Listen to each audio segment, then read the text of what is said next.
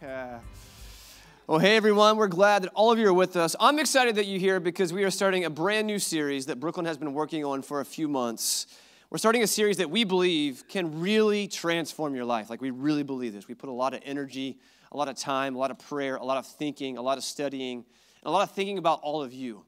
The name of the series is simple it's called Human just simply human. The reason why we're calling it human is because human is something that all of us have in common. I know that some of you wish that you could be a lion, or that you could be a dolphin, or some of you might wish you could be a cat, and some of you act like a bear on occasion. But the reality is, you're human and you're going to stay that way. So, through this series, what I want to do is I want to talk to you about you becoming the human, the person that you're created to be.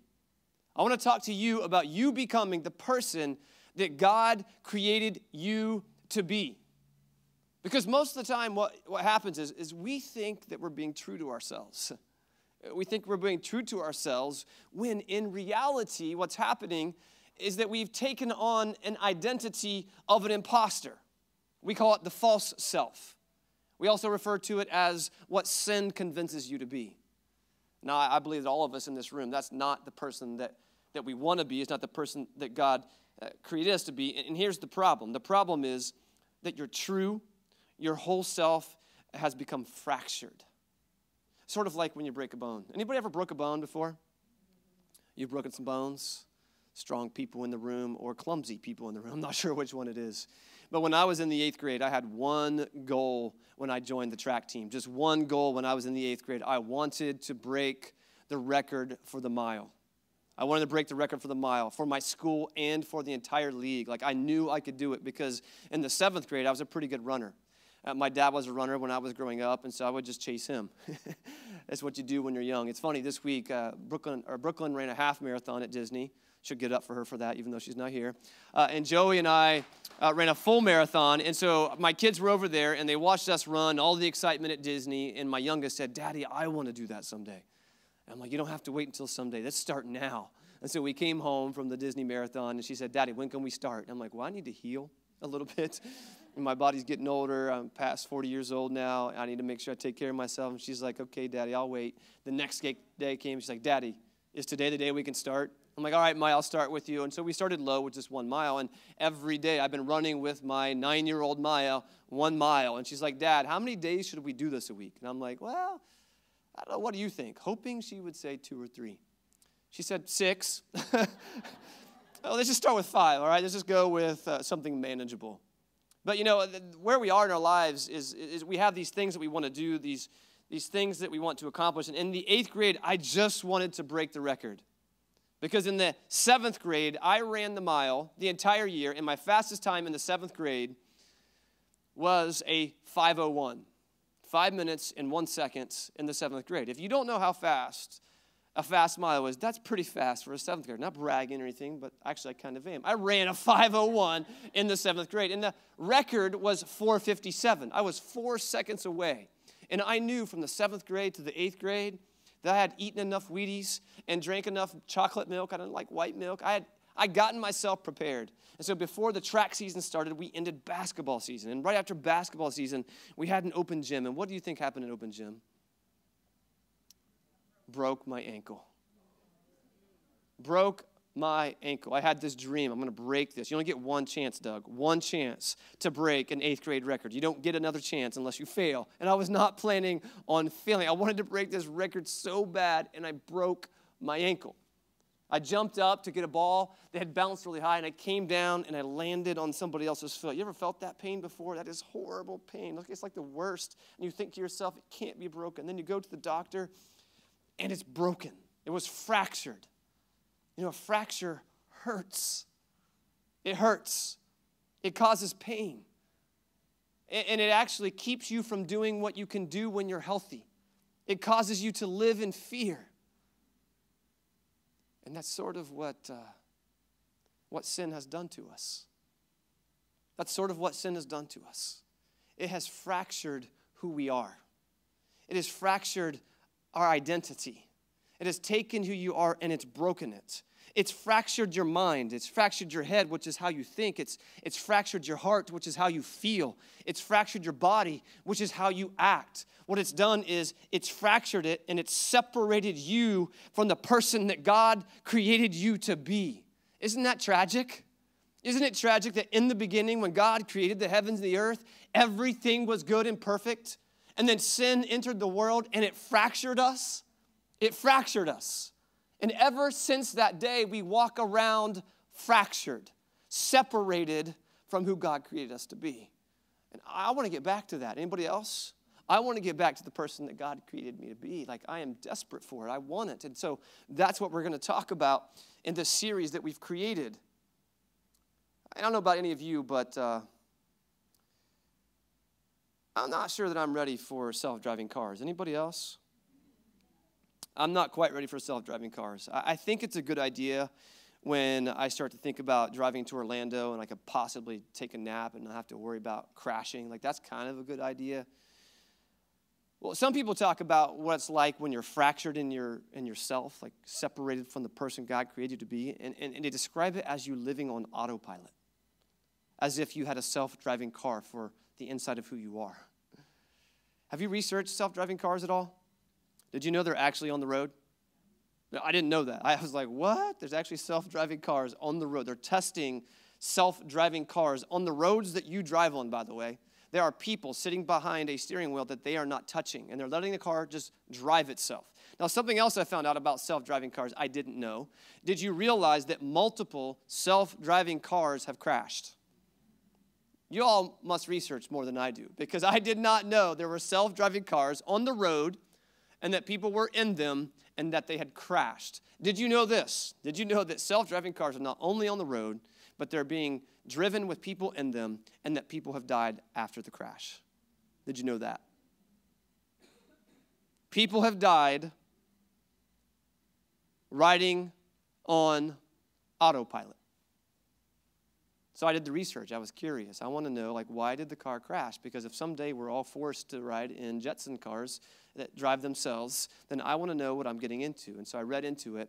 And what the article told me was the one person who was riding in a self driving car that crashed and then lost their life, the problem wasn't with the car, they're saying, obviously. The problem was with the person in the car. What they said was even though it's a self driving car and it's on autopilot, you're still responsible as the one sitting behind the wheel to be conscious and aware and pay attention to, paying attention to what happens so that if something goes bad, you can grab the steering wheel. Think about that in your own life. If we have truly been separated by sin from the person that God has created us to be, like we've been fractured, and now you're living on autopilot, what happens if you never take the responsibility of the wheel in your life.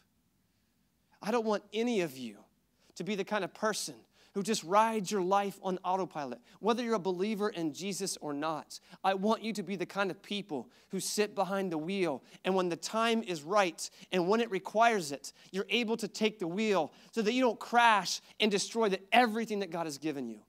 And what I'm here to tell you tonight is that through Jesus, transformation is possible for you. Transformation is possible for you through Jesus. And what I mean by that is, God wants to help you take the steering wheel so that you don't crash and burn and destroy your life.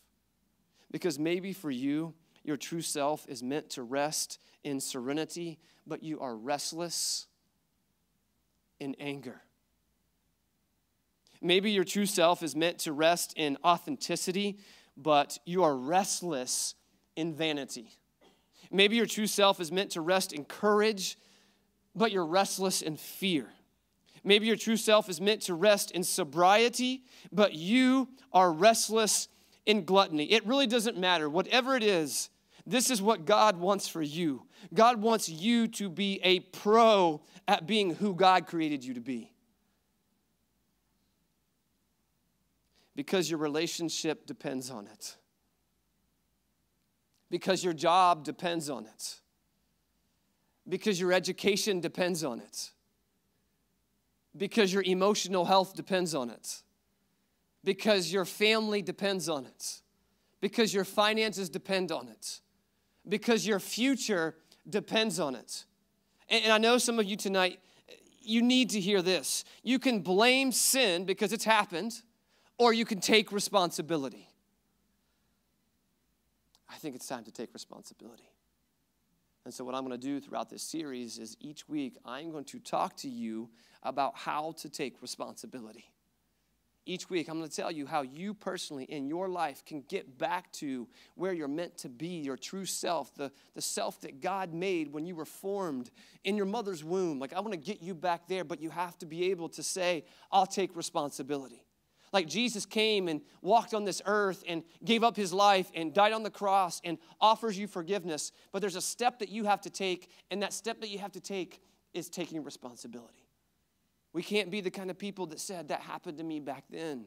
My mom and dad, they did that to me back then, and that is awful. My friends, they did that to me back then, and that was bad. My boss did that to me back then, and that wasn't right. All those things are not things that should be happening to you, but at this point in your life, you can't change anything except for what you do in the future. And that means taking responsibility. So, what I want to do is I want to use a verse as an anchor um, for this entire series. Just one verse. It comes to us from the Apostle Paul. It's found in the book of Second Corinthians, chapter 3, verse 18. This is what Paul said. Paul said, And all of us, all of us, with unveiled faces, seeing the glory of the Lord as though reflected in a mirror, are being transformed into the same image. I think about what it's talking about. All of us with unveiled faces, meaning there's nothing standing between our face and the reflection that's about to come back on us. When our unveiled faces, whatever covering our faces, in other words, when the, when the mask is taken off, and then we can see the glory of God as though reflected in a, in a mirror. We look for ourselves, and what we see is Jesus. It's then that we're being transformed into that image. Isn't that good news? To me, that's good news. So, something else I want to do is I want to, to use an ancient tool of spiritual formation over the next nine weeks. It's called the tradition of the Enneagram. The tradition of the Enneagram is a tool that pastors and spiritual leaders have been using for generations. And what it does is it, it describes nine different personality types, nine different personality types, one of which will sound a whole lot like you. It will sound a whole lot like you. And so, something else I want to do is I'm going to look at nine different Bible characters that match one of the nine different personality types that we're talking about. And so, here's what I want you to do throughout this series I want you to do this. I want you to identify what is your personality type according to the Enneagram, because I think it's really going to help you. The second thing I want you to do is I want you to learn from a Bible character. And then the third thing I want you to do is I want you to take responsibility take responsibility for your journey home. Because God is saying, Come home to who I meant you to always be. Are you ready? You don't sound very ready. Somebody's ready. All right, here's what we're going to do. We're going to start with one number tonight. We're going to start with a number eight. Now, some of you have already done this. You've looked at who you think you might be, but what we're going to do is we're going to give you a description, and through this description, we want you to think about is this me?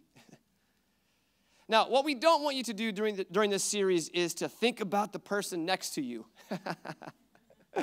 you're going to be tempted to do it because you're going to hear some things and you're going to be like, yeah, that's that person right there next to me. Especially the bad stuff. You're going to be like, yep, that was my mom. That's my mom. Yep, that's definitely my mom. Or you'd be like, yeah, that's my daughter, man. My daughter, I wish she could have learned this like five years ago before we got in this mess. So that's not what this is for. This is for you to look at yourself and say, is this me? Because if it's you, then you have a chance to know how to be the best version of you. We'll start with number eight. Number eights are awesome. Any number eights in the room that know you're number eight? JJ, are you here? If you are, you're hiding and you're not raising your hand. There you are. JJ was on the screen. He is a number eight. They are awesome because of these reasons. They're awesome because they're confident. If you know someone in their life, or if you're someone who's confident, chances are you might be an eight. They are confident, They're awesome because they're fearless and strong.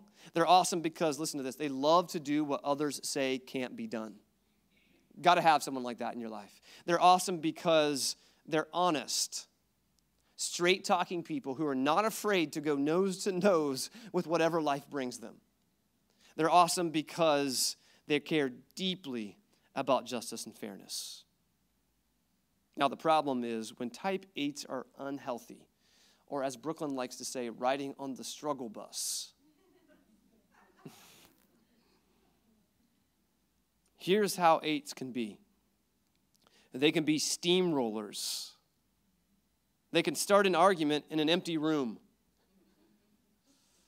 Don't bump the person next to you right now, like that's you. In their mind, they have opinions, or in their mind, you have opinions, and they have facts. They have little patience for people who are indecisive or don't pull their weight. And listen, people, they can come across as bossy or another B word that you might be familiar with, if you know what I'm talking about. You know, at their worst, eights are constantly thinking to themselves, I don't want to be controlled. I don't want to be controlled. If you're someone who says that to yourself or says that to someone you love, I just don't want to be controlled, maybe this message is for you. I just don't want to be controlled, and I'm not about to put myself in a position to be vulnerable to it. So here's what I'll do I'll just take control. I'll take control of the situation. Because if I'm in control, then I don't have to be in submission to anybody else. Now, when eights are at their best, this is what they're like. When eights are at their best, they can release control. They can let go of control. And what that means for them is they can actually find themselves having the ability to trust themselves with others. They could do it. Now, after I read that description, does anybody in the room believe they might be a type 8 on the Enneagram? Raise your hands tall and high. Let me see you. Got one little, we got, a, we got a grade schooler who believes that he is a challenger. Well, some of you, you might be saying in your heart, that's me. Yeah, that's me. So, who in the Bible might be a type A? Anybody have any ideas?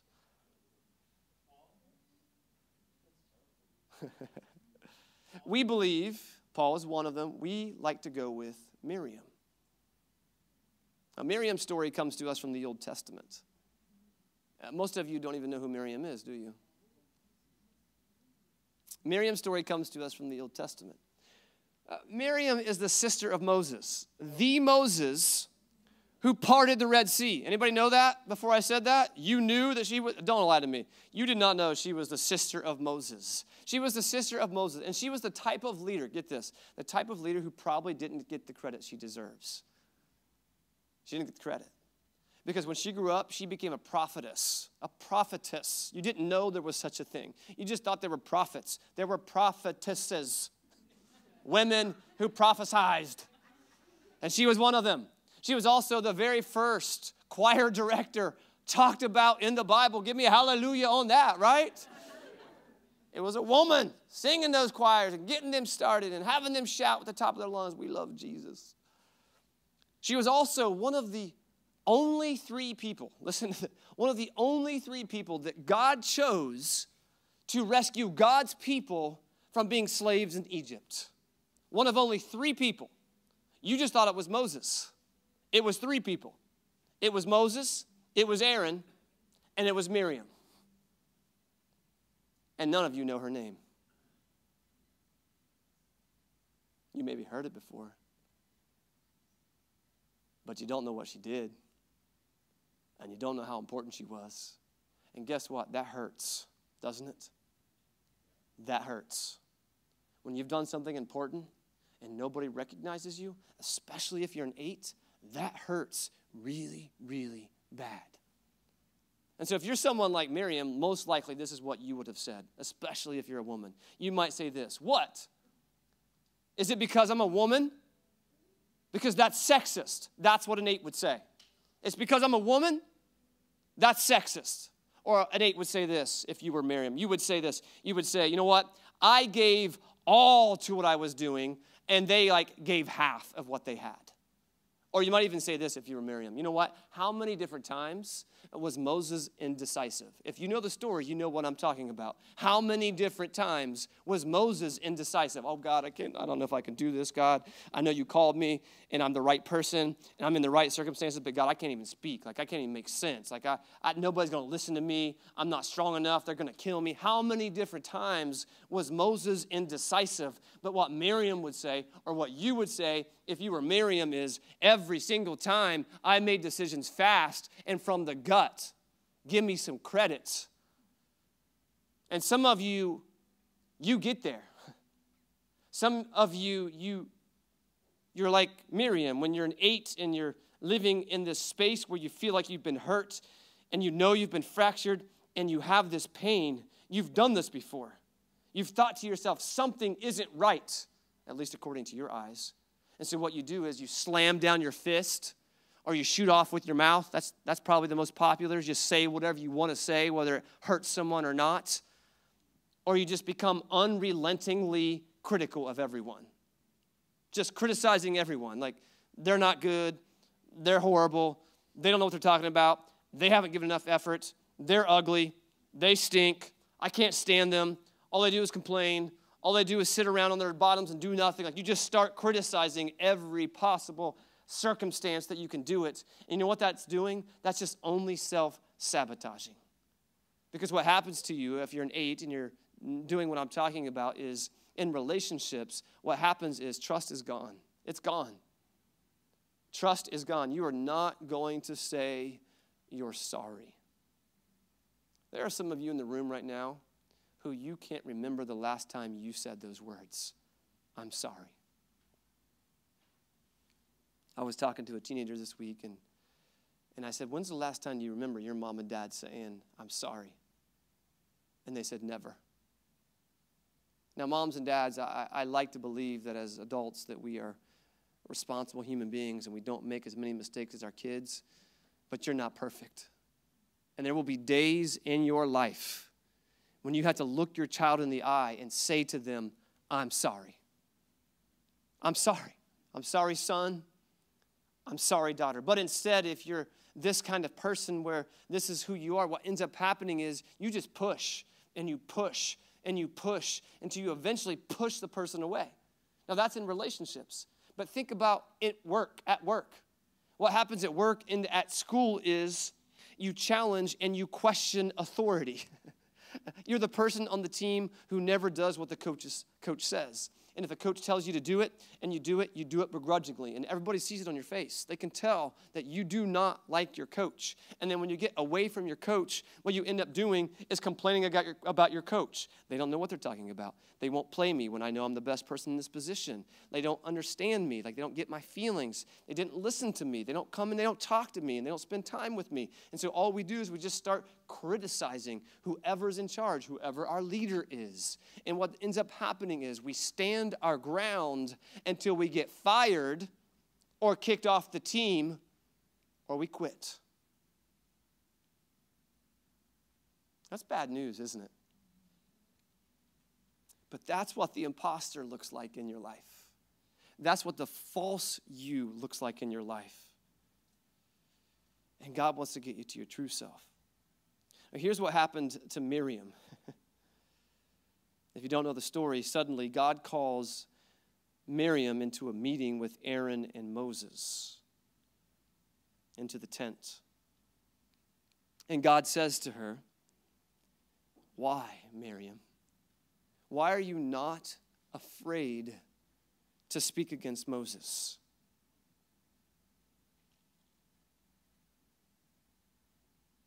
Because what she ended up doing was back in book, the book of Numbers, chapter 12, verse 1, she went to the place where the intensity got so hot and she became so aggressive that with fiery passion, she said,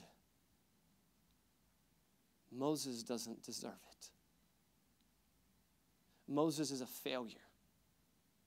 She starts with saying this He married a foreigner. Now, you're like, what in the heck? Like, we live in America. It's okay. Like, we don't talk about that anymore. But you're talking about the people of God who were trying to remain pure. It wasn't okay to marry someone outside of your people. And, and he goes and he marries someone. And so she begins to criticize Moses, saying he did it. He did something wrong. He married a foreigner. And then she puts her foot down and she stands up for herself. And she says in the book of Numbers, chapter 12, verse 1, this is what she says. She says, You know what? Moses isn't the only one that God used to speak to the people, God also spoke through us. And by us, she spoke, she's speaking about Aaron and herself. So here we are, and all of a sudden, God calls her into a meeting with Aaron and Moses. And God says to her, Why are you not afraid to speak against Moses? And immediately it tells us that Miriam turned white as snow. White as snow. The color flooded from her skin. You ever seen someone in that situation before? Last week I had my stitches out. I about lost my finger on, on New Year's Day when a grill lid fell on my finger. It was horrible. It was painful. It was awful. I was so happy to have my finger, but I had stitches. And then somebody here at the church who's a nurse is grateful enough to take out the stitches. Whew, it hurt. I've had stitches in my life many times on my chin, four different times in the same spot you would think I would learn not to do the same thing over and over and over again. I've had stitches on my head twice, on the top of my head. One time I jumped into the pool and hit somebody else's head and it cut me open. The second time I was surfing and this big board hit me on top of the head and it cut me open. And now here's my finger. And last week I'm asking the person here at the church to take the stitches out of my finger and it hurts, people. Sometimes it hurts. I'm normally the tough guy, but in this situation, it hurts. And what began to happen is like my body went into this shock and I began to sweat when it wasn't hot in the room. You ever been there? Like started to sweat. Like, why am I sweating right now? It's not hot in this room. And then people looked at me like, Coy, are you okay?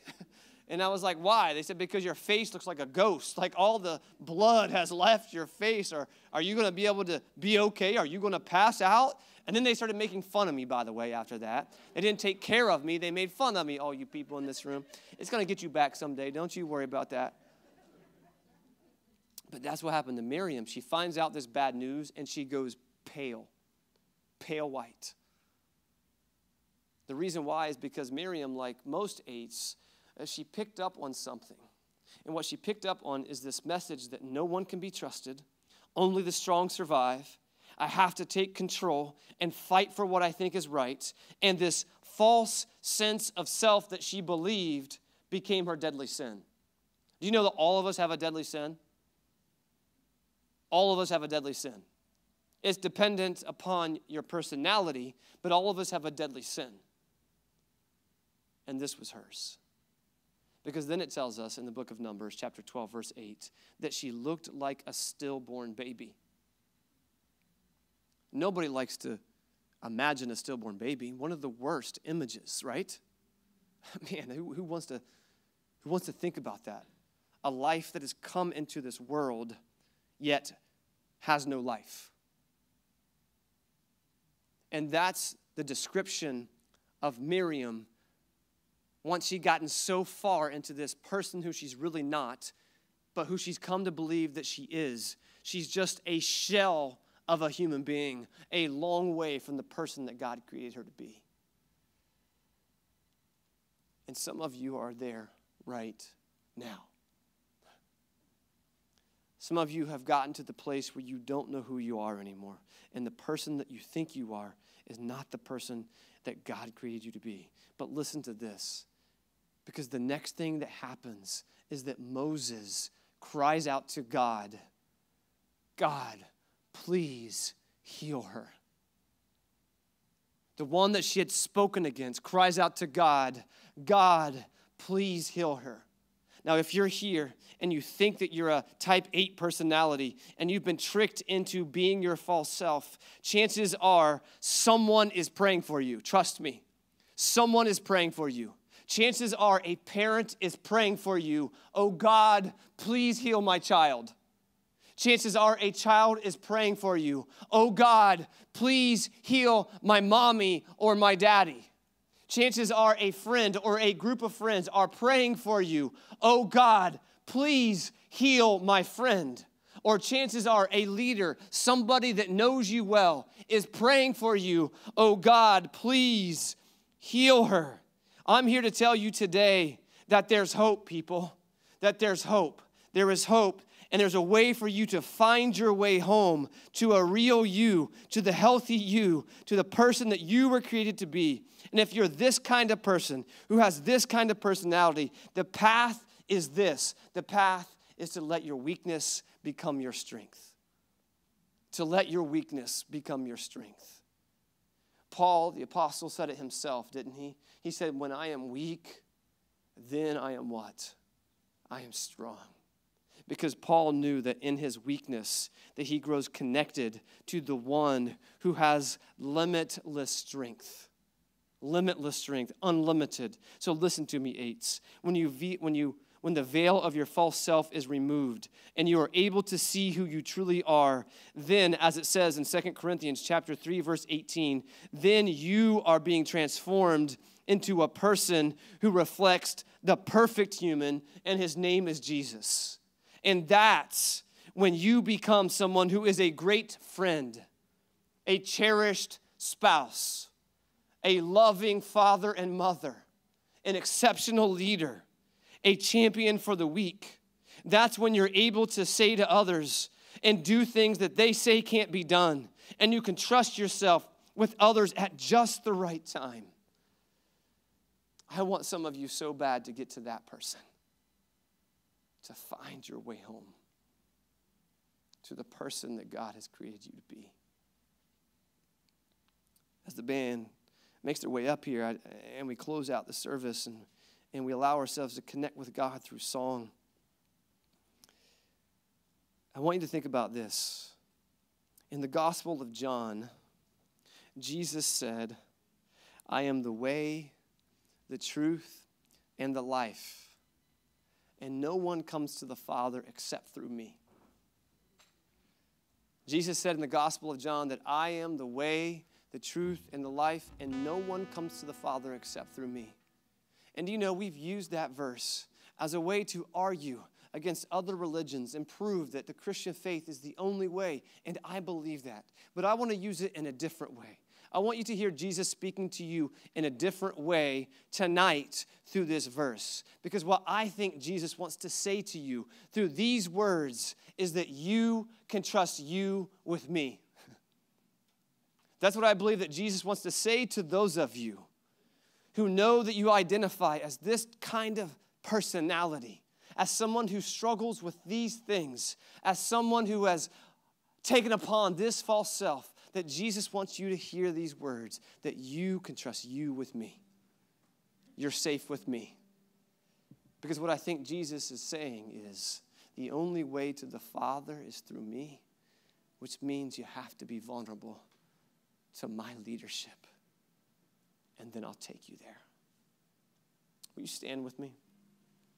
Because what I want to do is I want to give you an opportunity to start your path to healing tonight. There's nine different personality types that we're looking at throughout this series. And the majority of you won't be the one we talked about tonight, but some of you are. And you've been living this lie, and you've been res- messing up your relationships, and you've been destroying your opportunity at work, and you're messing up your own kid's future because you're making them a disciple who believes that you live according to the, the person that sin convinces you you are? Like, do you realize that as adults, when we have kids and we continue to stir up this part of ourself that really isn't who God created us to be, we're just stirring up a pot and we're making a this, this thing of soup and we're feeding it to our kids, and that's what nourishes their soul? That they get to grow up on this food that we're feeding them? And then they become somebody who has to fight with the same problems and the same imposter where they're riding on autopilot as adults. And then we look at them and we say why is my child like this? Why is my child so crazy? And if you ask your child your child might say because mommy and daddy you never found out who you were in jesus. You only believed who you were according to how sin told you you were. And some of you tonight is the moment that you can start to find your way home home to your true self, the self that loves purely, the self that makes hope come alive, the self that is strong and courageous, that does things that people say nobody else can do because you have the personality that says that you can do it, but you won't as long as you're sick and as long as you're fractured. And then Jesus comes along and says, Let me heal you. You can trust you with me. You can trust you with me. Believe me, you can trust you with me. And here's why because I left heaven and I came to earth, and my body was fractured and broken for you. And when I was on that cross, and I looked out at the people who were shouting my name, making fun of me and mocking, saying that he's the king of the Jews, here's the words that Jesus says I speak over you. Father, forgive them, for they don't know what they do. And that's what this entire series is about. Is that Jesus is looking at you and he knows that you don't always know what you do. And so he gives the invitation trust me. If you're a type 8 personality, Jesus says, trust me. Now, I believe everybody in the room should have a chance to trust Jesus. And so if you're here tonight and you want to start that journey to transformation, the person that God wants you to be, I want you to pray this prayer with me. Close your eyes. God, I'm here and I'm broken because for so long I've just lived on autopilot. I, have been asleep and I had no idea who I truly was in you. And tonight I feel like there's a better version.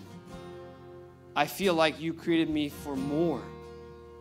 And I want to be that healthy self. I want to be the one who is the best version of who I can be, but I know I can't get there if I can't trust because I'm the kind of person who takes control. I, I believe everybody's going to betray me because nobody is trustworthy, and I'm here and I want to trust you. I want to follow you. I want to believe that you have my best interest in mind. Because, God, someday I, I want to be the kind of person who, when I look in the mirror, the reflection that I see is the image of your love and the image of your grace in the image of your power, in the image of your peace, in the image of your grace, in the image of your mercy, in the image of the hope that you bring, in the image of the future that you write, in the image of a story that's redeeming, in the image of a story Uh, that's sa- saving, and in the image of a story uh, that, that helps the world become a place where the kingdom of God is alive and well and strong and never going to be defeated. So, God, I, I want to start following you tonight. I want to trust myself with you. I trust me with you, Jesus. So, forgive me. Forgive me for living the false self and show me the way to my true self. In your name we pray. Amen.